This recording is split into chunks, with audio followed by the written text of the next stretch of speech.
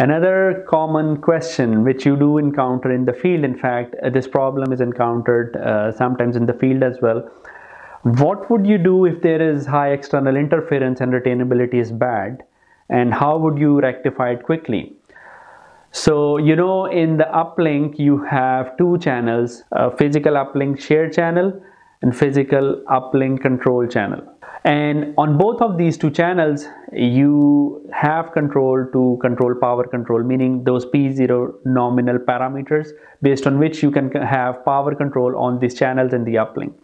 So if you are facing external interference and um, retainability is bad as well by raising the target p0 nominal power parameters for these two channels does in fact improves the retainability KPIs and it also overcomes the external interference. Now, having said that, this solution can be used to overcome this issue and improve retainability. However, be cautious if you use this immediate quick fix to improve retainability and avoid external interference because it can result in having more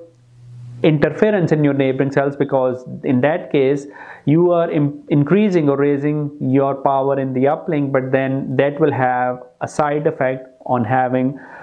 interference in the other neighboring cells. So that is one thing you need to be careful of but the quick fixes you can use power control on these two channels PUSCH and PUCCH